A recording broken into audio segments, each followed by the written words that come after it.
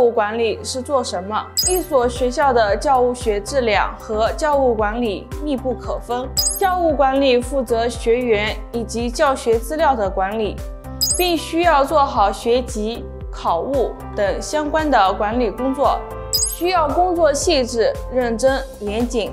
性格稳重、计划性强，能够吃苦耐劳，较强的抗压能力与心理承受能力。